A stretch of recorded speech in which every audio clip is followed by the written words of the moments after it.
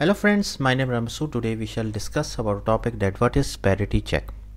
Friend, today's topic is very very interesting, especially if you have interest in um, in this type of knowledge, parity check, and you want to learn about it. So let's just start. First of all, I would request to please subscribe to my YouTube channel and click on the bell option as well so that my new videos can reach to you. Friend, parity check is an error correction process in network communication that ensures data transmission between communication nodes are accurate. In this process, the receiver agree to use the same even parity bit or odd parity bit scheme as the sender. In an even parity check, parity bits ensure there are even number of ones and zeros in the transmission. In an odd parity check, there are an odd number of ones and zeros in the transmission. Once the source transmits the data, the number of bits is checked by the receiver.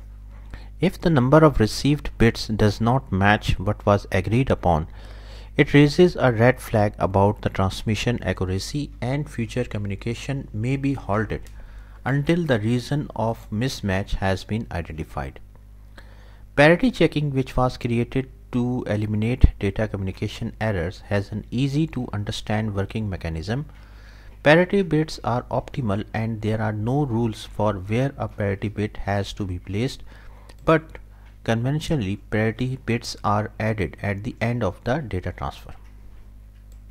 Now basically uh, if we talk about imagine for example imagine a data transfer that looks like 101001 this example has an odd number of ones and zeros even number of zeros when an even parity checking is used a parity bit with value 1 could be added to the data right side to make the number of ones and even. And the transmission would look like 1 0 uh, 1 0 0 0 0 1 1 if an basically uh, odd parity check was used the transmission would look like this. 1 0 1 0 0 0 1 0 okay. Now what is RAID actually here Friend, RAID is basically redundant array of independent disk, also used as an enhanced form of parity check protection. A second set of parity data is written across all drives to avoid data loss in case of error. When a RAID drive fails its parity check, data is rebuilt using parity information coupled with data on the other disk. The bits on the remaining drives are added up if they add up to an odd number, the correct information on the failed drive has to be even and vice versa for communication to continue. Now there are some limitation as well. Um, the parity checking is primarily used for communication although uh, more advanced protocols such as Microcom networking protocols MNP and ITU to uh, 4db has sub, uh, supplanted its the standard in modem to modem communication.